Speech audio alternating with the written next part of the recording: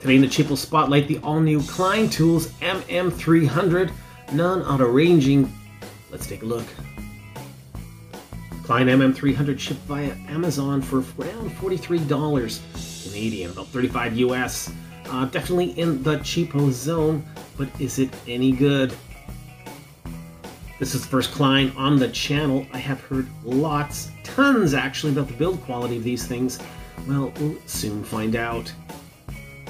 The MM300 ships in this pretty decent bubble wrap style box.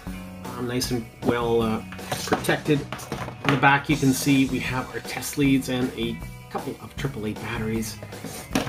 That's it, that's all. Now once again, this is a pretty sparse meter. Uh, Function-wise, it's not going to turn any heads. We're talking a 2000 count non-auto ranging LCD display.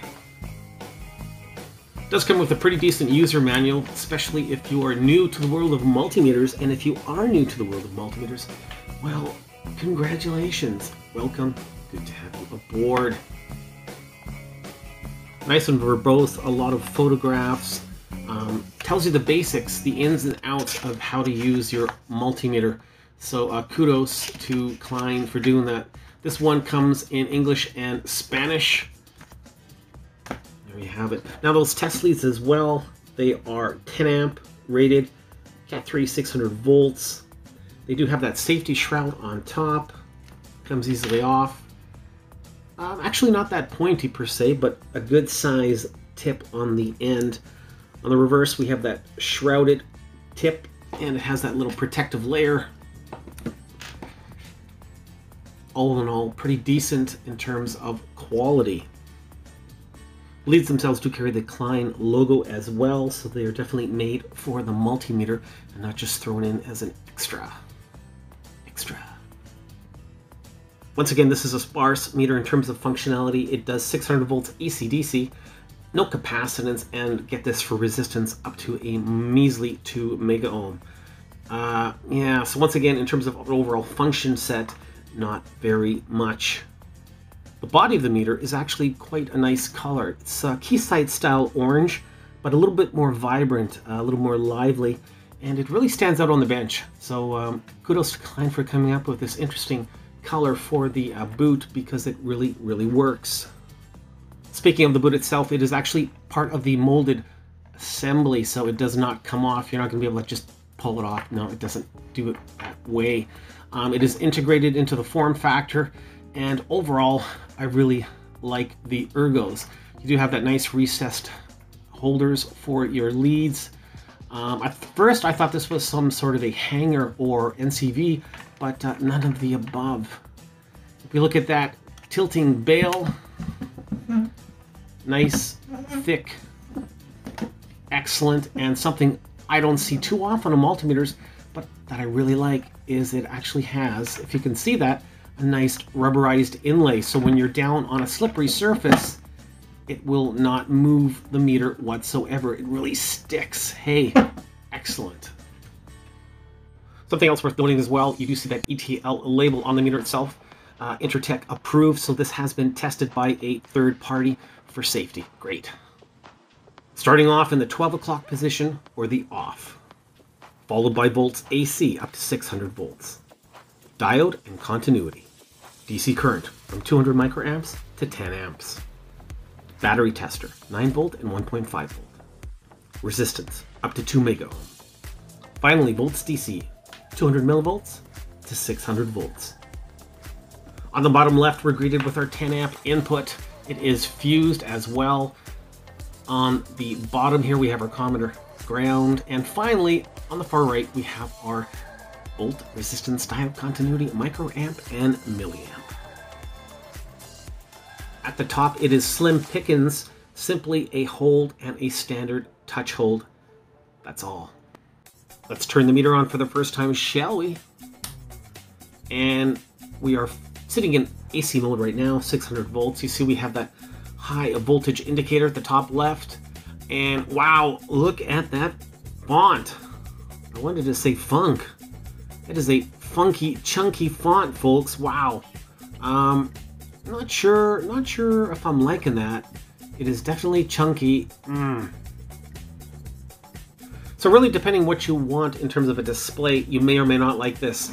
Personally, uh, I don't know. I find it just a chunky looking display. That was chunky, not funky. Now, once again, there is no backlight, so you are really at the mercy of this uh, display for your overall viewing. Uh, depending on the angle, um, it may or may not look so great, but um, eh, yeah, I'm kind of, yeah. DC accuracy is what we're looking at. We want to see 250 millivolts, and we are pretty darn close, 249. Next up, we want to see 2.50 and spot on Mister Klein, 2.50 volts. Beauty. Taking a quick look size-wise, I've got a couple of other meters beside it, and we can see the Habotest 118A on the left. Definitely a bigger, larger meter. Um, this Klein is more in tune with its little brother, the 113C, on the right. Unlike the 113C, which is really feature-packed for such a small meter, uh, the MM300 from Klein is really sparse, Spartan, next to nothing in terms of a feature set. Uh, yeah. Diode time is next. Here we go, starting off with the green LED. And, oh, nothing, nothing. The yellow, wow, nothing again. The red, well, it is illuminated, but, um, yeah, no forward voltage drop. Over to the blue. Jeez, and the white. Wow. Okay, so, uh, terms of illumination, uh, yeah, that really sucked the big one. So only the red LED was able to uh, get lit. Um, none of them displayed a forward voltage drop. Eh, not so great, not so great at all. Check a standard diode. And yeah, no worries there. So standard diodes, it's all right, but uh, if you want to check LEDs, you're going to want to look elsewhere. According to Mr. Beckman, output voltage in diode mode is a paltry 1.9 volts. Not enough. Continuities next. Three, two, one. Oh my god! Wow, Granny was slow, but she was 103. That is incredibly slow. Oh, Lord definitely one of the worst continuities I have heard in terms of quickness. Yeah, it's latched, but it is slow as molasses in December. I think I used that joke once before, didn't I? Gotta come up with better jokes. Yeah, really bad continuity. Wow. Let's see if the ProbeMasters are any better. ProbeMasters are in, locked, and loaded. Here we go.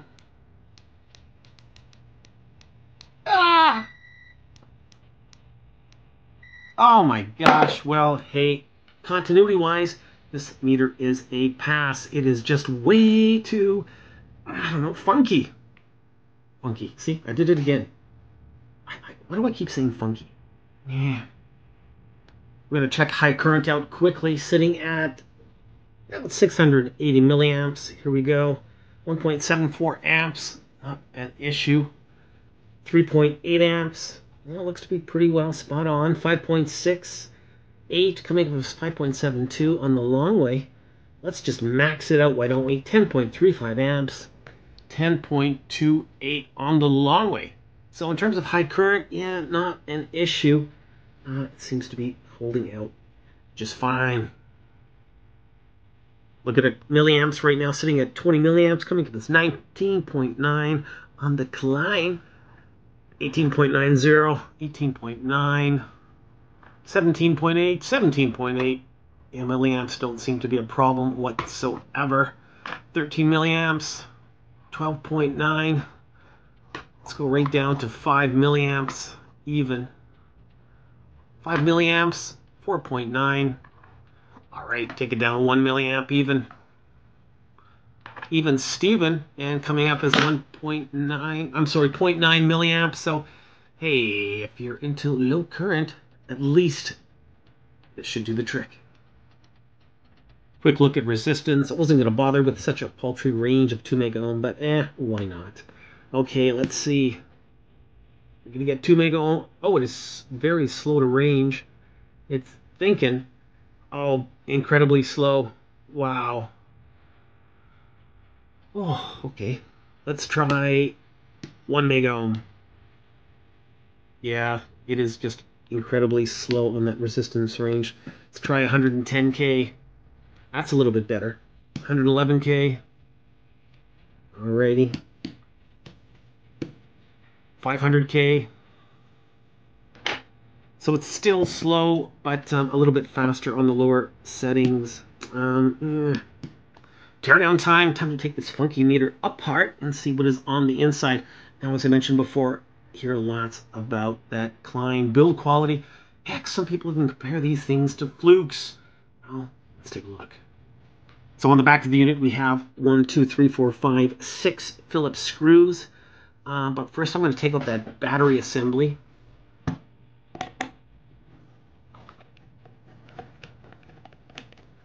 And it is just one screw that's holding the battery casing inside comes out just like so. One nice metal insert here so no worries about taking that uh, battery compartment off multiple times. Not going to be a problem. All right i'm going to take these batteries off and uh, go further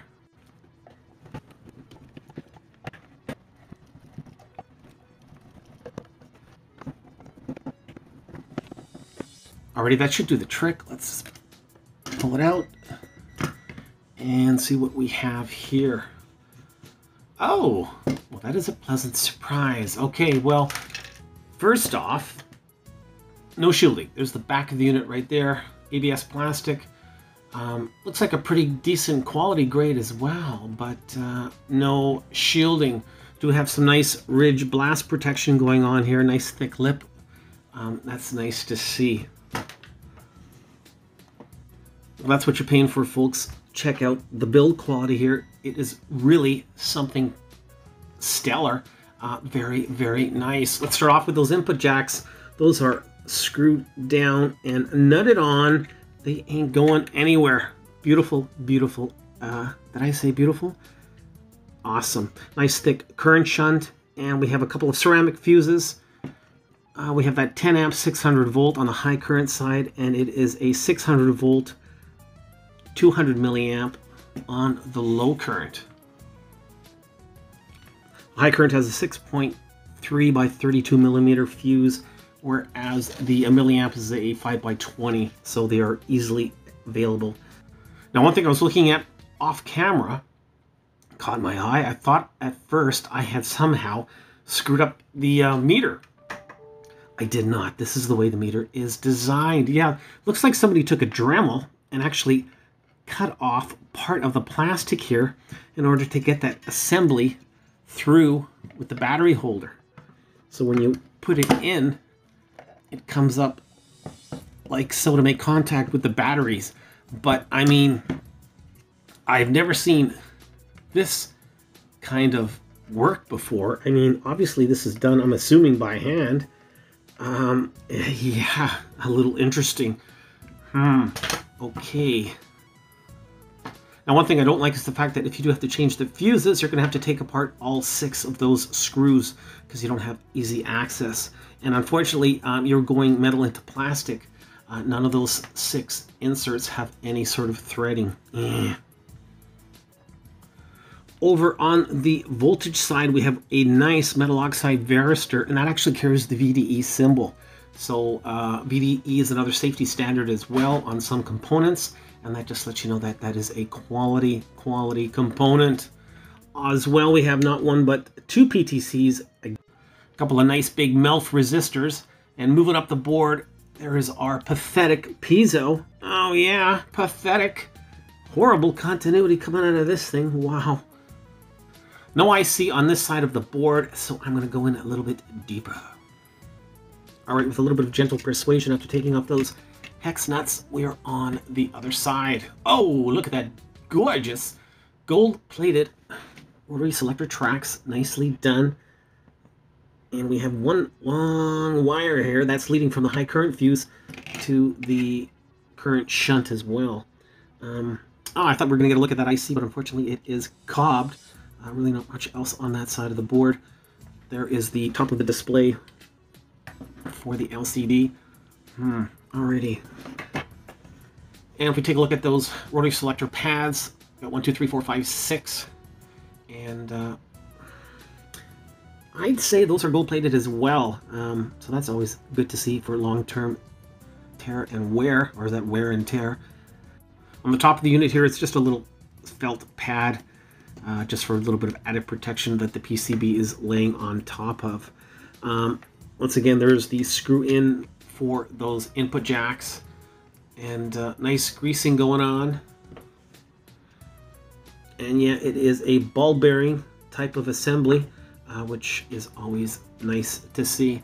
Alrighty, gonna put everything get back together. Come back with my closing thoughts. Closing thoughts on the Klein MM300. Well, you know what? Eh, I find it, well, funky and mediocre. Pros, it has some truly good build quality. Um, yeah, it is a nicely designed overall little beast. I do like the color. And uh, interior wise, well, you know, that input protection was just great. It's got good accuracy all around. Um, can I say, it's hard to switch. Even if your hands aren't super big, it's just a hard selector to get a hold of. Um, that being said, the ranges themselves are, let's face it, they're mediocre at best. No capacitance range. The LED performance was uh, completely dismal. Eh, definitely could do a lot better. Finally, that battery PCB connectivity is really poorly designed. I can definitely see that failing at some point. Uh, it is just not in there very well. Uh, the overall execution could have been done differently. Yeah, the MM300, you know, it's, it's one of these funky meters that just, I don't know how to really catalog at the end of the day because, you know, it's not a bad meter, but it's certainly not a great one either. The Klein MM300 gets a 2.5 out of 5 stars. Thanks for watching this review, everybody! Hey, got some great, and shall I say, funky meters coming up. Next review will be really, really something a little different. Stay tuned for that. Wow, still recovering from that Sanwa week. That was a lot of fun. Gosh, those Sanwa products really put a smile on my face. Congrats again to our winner, Mauricio. Hey, Mauricio, your Sanwa is en route to you. Enjoy it. Thanks again for watching, everybody. Till the next one, keep on testing.